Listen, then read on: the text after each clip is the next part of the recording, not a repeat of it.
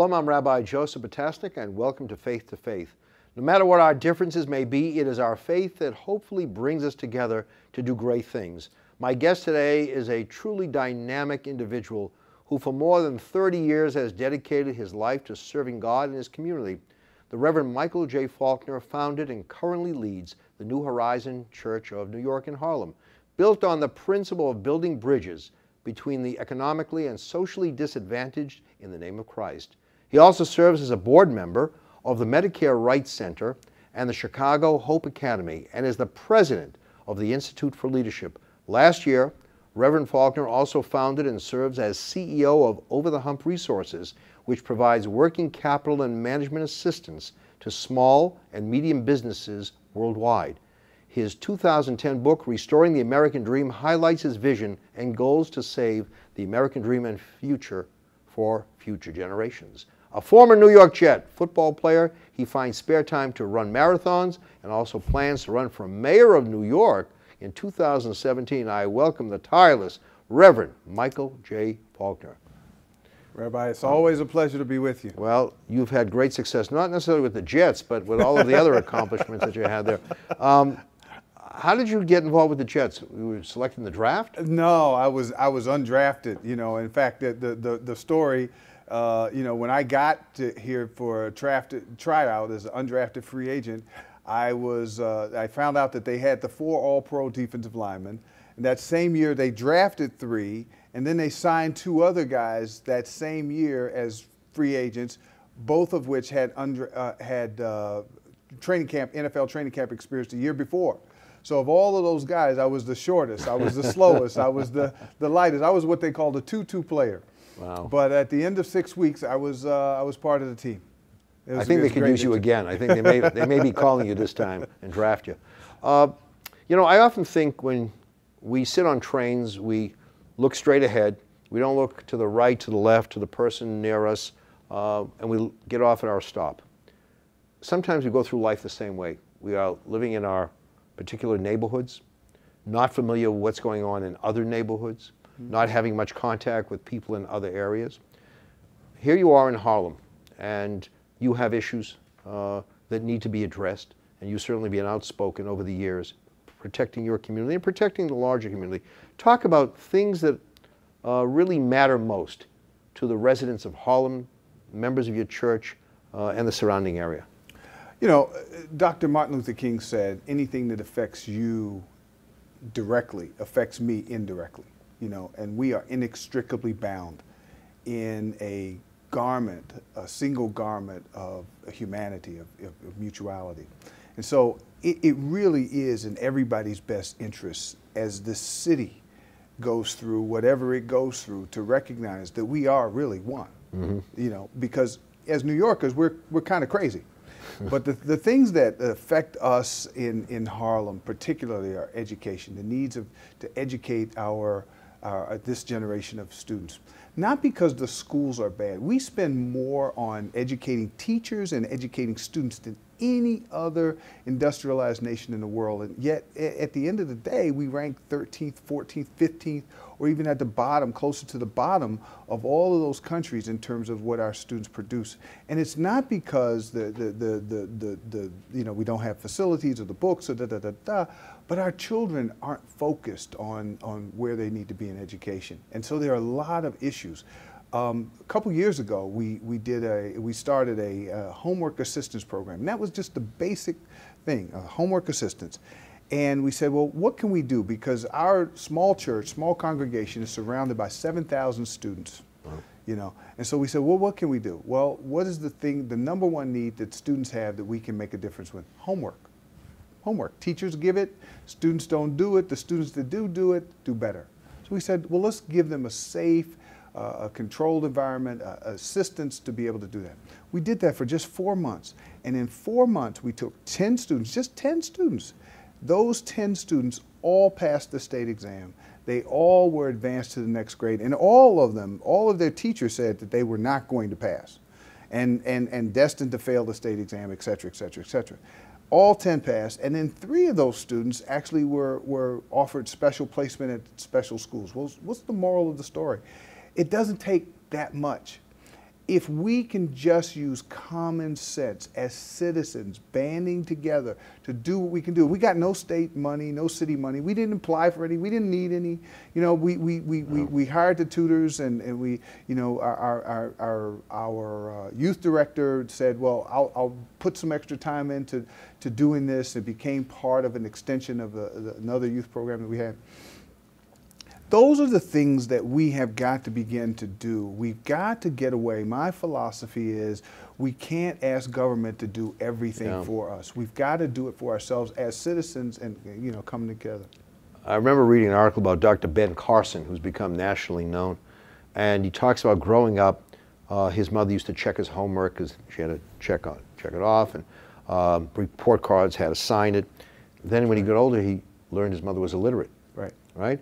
But the fact that his mother was engaged, involved, for him, that was, that was enough. And I was talking with uh, Borough President of Brooklyn, Eric Adams, recently, and I said, you know, we have kids who are going home to places where you don't have the conventional, uh, the nuclear family. Right. Right? We got a parent or parents missing. Now you're asking a child to, you know, fulfill responsibilities given at the school to an area at home where you'd expect some parental oversight, you don't have it, how, there's a gap. So I'm thinking what you're doing, you're becoming almost surrogate parents in some cases, aren't you? Well, in, in some ways, but we really, the parenting responsibility is kind of a sacred right. So we, we, we, there's a fine line, you know, what we, what we do. We want to do a family assistance. So we, we let it be known very clearly that we're not parents. We're only there to support the parents in, in their raising of those children. And by and large, what we found is most of those parents really do care about the kids. They, they, they're just too busy or they're illiterate or functionally illiterate and they feel overwhelmed. And so when we engage the students and they see that their students are doing better, they're, they're like, and now we're starting to reach, do a reach out, you know, it's kind of almost a reverse outreach. You know, so through the students, through the children, we're reaching out now to the parents and saying, "Hey, we can help you with job assistance. We've got a, we've got a, a, a somebody donated a lot of computers for us, so we have a computer learning center in the basement of our church, and and uh, you know, people can come there. Adults can come during the day and use it for resume assistance or for looking up, you know, looking at the internet to look look up uh, for jobs and, and so forth. And so those are again common sense." Just very basic things that uh, people need help with. And they make a tremendous difference because for us, you know, seeing these students that are going to, who are predicted to fail, do better, knowing that they're going to graduate from high school, that they're going to go on, and, and that many of them will live fruitful, productive lives. Well, there's nothing better. Isn't it interesting? You can take, and it's been shown, students, same background, put them in different educational settings, and one group performs well and one group is just not going to make it because they don't have the kind of intervention that you're talking about. And these are simple, uh, non-complicated, you know, uh, areas. As, as we say, it's, it's, not rocket science. It's caring. It's showing the students that someone cares for them. It's, it's, you know, it's, it's, it's allowing them to know that, hey, you know, and listen, gifted students are going to do exceptional things. But what about the kid who's not gifted? Yeah. Or what about the kid that doesn't know that they're gifted or doesn't know that they, they have the ability to learn another language or, or two or they, they, they, they're good in math? Or that kid that, that thinks that they're bad in math, what, what if you know, you teach them a few little tricks that they get enough confidence to say, hey, I can do this. Unfortunately, teachers don't always have that kind of time to spend on every student because they're dealing with a whole myriad of other issues, social issues that 25 years ago teachers didn't have to deal with. Teachers could teach right. and students were expected to learn and parents were expected to support the teachers. Now if you know something happens in the classroom, the parents show up and in many cases, many cases, not all, the, the parent is uh, like saying, well, what did you do to my kid? Why, why you're supposed to teach them? You know, we, we've got it kind of twisted. And what we're trying to do, Rabbi, is we're trying to go back to those parents and back to those communities and the, the, teachers, and we're trying to say, hey, listen, let's have a dialogue. Let's have a conversation around what needs to be done because we want your kid, we want you, we, we want your kid to grow up in an environment that's better. We just had a discussion with a rabbi, Elliot Cosgrove, Park Avenue Synagogue, and he used the phrase portals of entry. Mm. And he said people come into congregations through different uh, entrances, right. right. Not everybody's going to come through the front door to the sanctuary. Right. And I'm thinking of all that your church is doing. What does that say about the responsibility of the church to the community? It's not just about a prayer service on Sunday. Right. And years ago, um, when I pastored my first congregation at uh, 93rd, 92nd in Amsterdam, a friend of mine, Harv Oostdyk, he, he told me that. He said, Well, how big is your congregation? And I told him how many people were coming on Sunday. He said, How big is your congregation? And I mentioned again, and I scratched my head and said, Well, what are you talking about? He said, Your congregation is not the people who come to your church on Sunday. Your congregation, really, technically, is not all Christian. And they're not all people that, that, that, that, that you know, and, and he began to show me, he said, Listen, there are hundreds, if not thousands, of people that you can impact in a positive way, in a way that honors God, that, that will allow the message of hope, the message of love, the message of salvation to be shared with those people without necessarily yeah. the religious structure of them coming into the, like you said, of the portals of entry. But we have to show up, we have to care, and we have to be consistent with that. Maybe we need to change the definition of religious. Because so often when we define a person who's so-called religious, we look at certain rituals, we look at certain prayers, and we say, ah, oh, the person is a regular attendee. Right. That person's religious, right? The person keeps the dietary laws, Sabbath, that person's religious. But all the other things the right. person uh, does somehow doesn't get under categorized under the aegis of religious. And what you're saying is, you know, there are people who fulfill religious mandates in different ways, and we need to recognize them.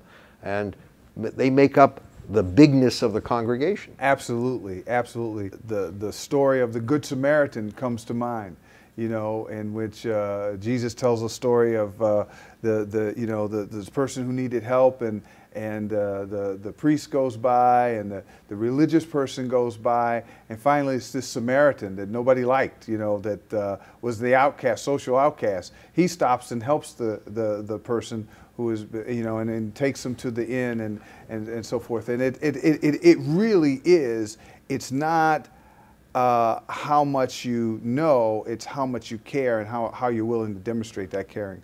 Years ago, uh, someone asked me for a letter of recommendation uh, when I was at the synagogue, and I wrote a letter of recommendation. Then the person went to the cantor for a letter of recommendation. Cantor wrote a letter of recommendation. I got a call from the individual that says, you know, it's very nice you wrote these letters. Do you think there is someone who could tell us what the person does the rest of the week? You know, it's nice that you see the person once a week, but I, we want to know what else goes on in that person's life. Right. So I think we have to be very cognizant that religion uh, has a wider uh, reach than, than simply uh, you know that limited experience. Absolutely.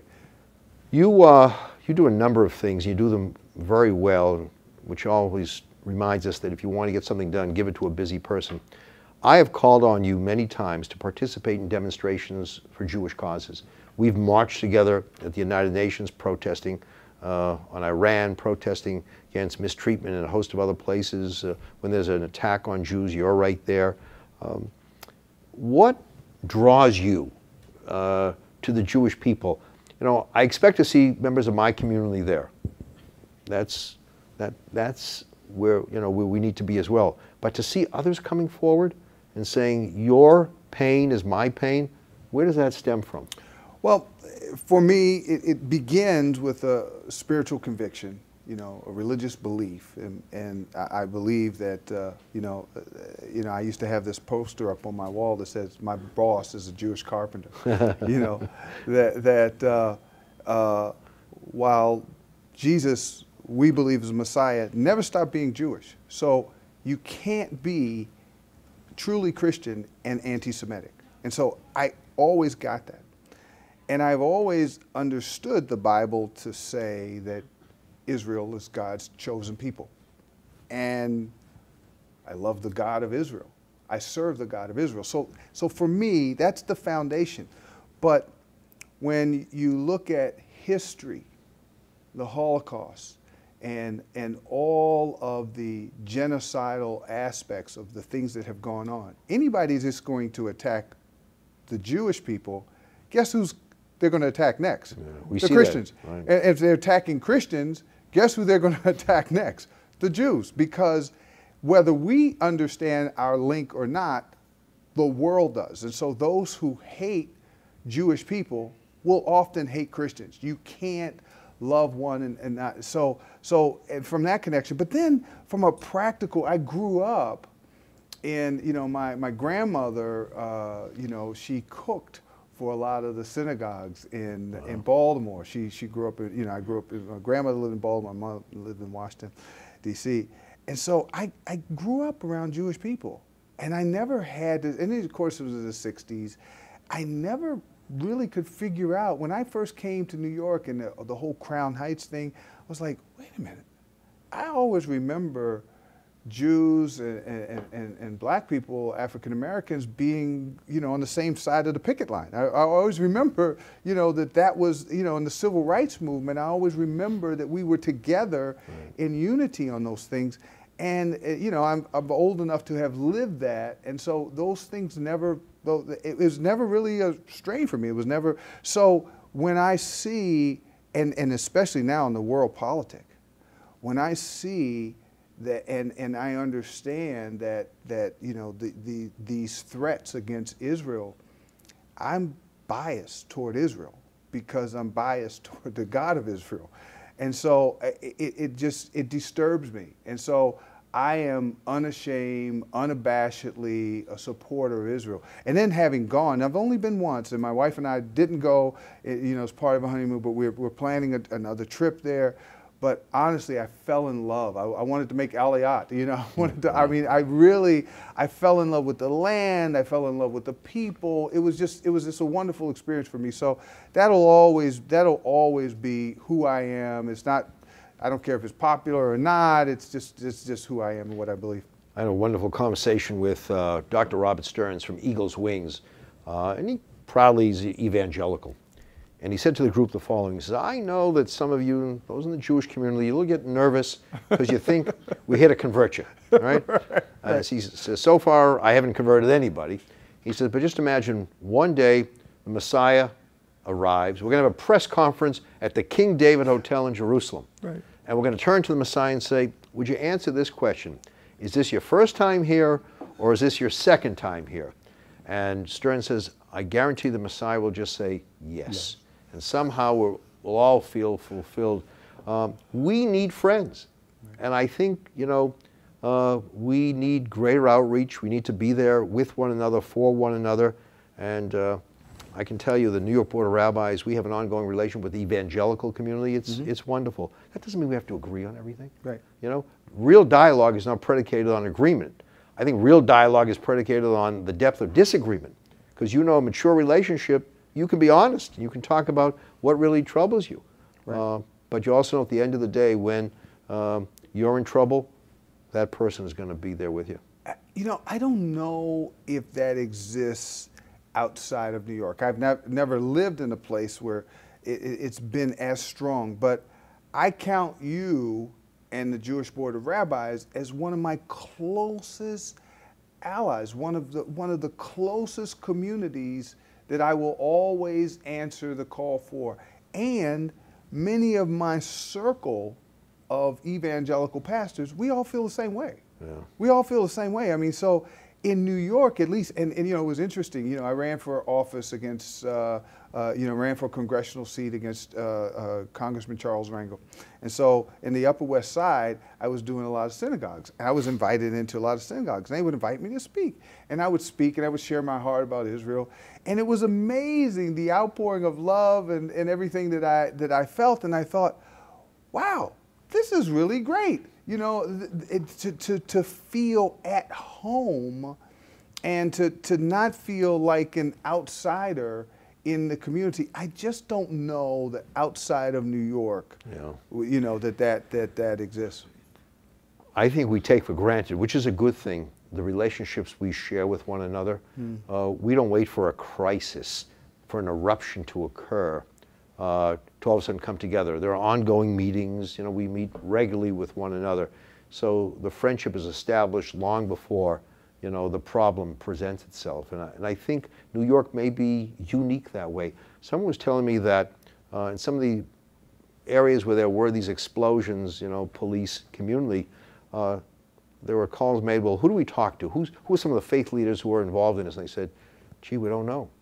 Mm. Because you didn't have the established relationships right. pre-crisis. Right. So maybe New York can be emblematic. Maybe New York can be really a, a, a statement yeah. on what you need to do. Don't, don't wait till tomorrow to, to start uh, doing something. Right. And then you know, you can't let other people pick your friends for you. Yeah, that's true. You, you, you know, you've got to you got to stand by your convictions. Go by what, what you know and what, the people that you know. And uh, you know, everybody is not going to be wonderful, whether they're uh, uh, you know evangelical or Jewish or Muslim. You know, but then there there are those people that you find that you can work with, and that you that and and that's the great thing is you know you you talked about me uh, running for, for office for, for, for the, to be the mayor of the city of New York, I, I'm really running because I love this city. I'm running because, you know, my plat- people say, well, what's your platform? I said, well, I'm going to bring people together in, in this unity. My platform is one of unity. They said, well, is that all? I said, well, wait a minute you don't understand New York. You don't understand how great this city is. You don't understand that this city has always been a beacon of hope for the world. Since you, you don't understand that this city has always, you know, uh, give us your poor, your, your, your, tired. tired. You know, um, th this city has always had that beacon of hope for those who were disenfranchised. Now, uh, do we always get it right? No, but that's the culture of the city. We really do believe it. And when you get us working together as one city, believing that, that, that cultural thread that, that brings us all together, it is a powerful force for good. And I mean, look we, what we were able to do for, you know, after 9 11 uh, you know, we were able to build the Empire State Building in the midst of the Depression, you know, the Verrazano Bridge, you know. I mean, it, none of these things are perfect, but we as a city, as a culture, when we come together and we can say, okay, we have to look out for those who don't have or who right. don't have as much as we do. It is so important that we understand that's part of the fabric of who New York is. And when we can take advantage of that, not to exploit it for division, to say that, you know, maybe it's a tale of two cities and, you know, yeah, there, there is a growing divide between the haves and the have-nots, but race is not the problem. You know, it, it, it's, it's that we need to come together and address some of the issues that, that fragment the, the, the you know, the, the, uh, the families who may be at the lower end of the socioeconomic uh, uh, totem pole, you know, and, and, what is it that we can do, especially as a member of the faith community, what is it that we can do to strengthen these families and, and to get people to understand that they can do it if they have a desire to do it. So, yeah, know. I remember you mentioned 9-11. Right after 9-11, we had a special ceremony at Yankee Stadium, and many of us as faith leaders sat on the bus going to Yankee Stadium. We were all together, and there was no special arrangement. You could sit wherever you wanted. And I sat next to a member of the Sikh community. And he was telling me about some of the uh, prejudice he had endured uh, right, uh, right after 9-11. But I thought of that bus ride. Here we were, all going to the same place, right? Uh, later getting off at different stops. But ultimately, we had realized that there is this common mission. And I think we got to see each other with. Not everybody gets off in the same place, but uh, there's got to be a, a place where we can all walk together and listen to each other and learn from each other. Before I let you go, we just have a few minutes left. Talk about police community relations, where you see this, where we are, where we can go. You know, I was part of uh, Mayor Giuliani's you know, task force for police community relations. And during that time, we, we actually went to many, we, the, the, the entire task force, we touched every precinct in the city. We talked to various officers, people in the community, eh, tremendous education. And several things I learned that are still true. One is by and large, New Yorkers appreciate NYPD. Two, in my opinion, this is my opinion, I think New York's you know, NYPD is the best in the world at what they do. To, to, to you know, to, as a civilian peacekeeping force, they are unbelievable. Are there problems? Of course. I think what we have to do is begin as citizens to appreciate and affirm our police officers. As citizens, it's my right to say to that cop, hey, thanks, you're doing a good job. I mean, they're New Yorkers, yeah. you know? And, and, and, you know, just to go up to them and say, hey, thanks, appreciate, you know, when you see, a, you know, in, in airports, sometimes you, you, you know, you, you see people stop and they applaud military, you know, a military unit that's traveling through and say, thanks for your service. Hey, what about thanking these police officers, firefighters, first responders? They're, they're great in New York City. And I think we start with the positive, right. then we can, you know, the, the problems we can sort out. But that disconnect between the police and community is fatal. We can't allow it to happen, and we've got to correct that. Michel Faulkner, the Reverend, uh, let me just say, I'm looking at you, and right behind you there's an Israeli flag. And I think there's Michel Faulkner. He's a person who stands up for his people. He's a person who stands up for my people. He's a person who stands up for all people who need to hear that clear moral voice. So uh, we greatly appreciate all that you do and all that you are. Remember, we may have different faiths, we may have different faces, but above all, we must see each other as members of one human family. A great sage said, If you believe it can be broken, then know it can also be fixed. When we speak faith to faith, we know we can find the right way to fix the problems of our world. Thank you for watching Faith to Faith, the place that leads to greater understanding. The New York Board of Rabbis would like to thank Marilyn and Marty Metz for their generous support. Thank you watching Faith to Faith on JBS.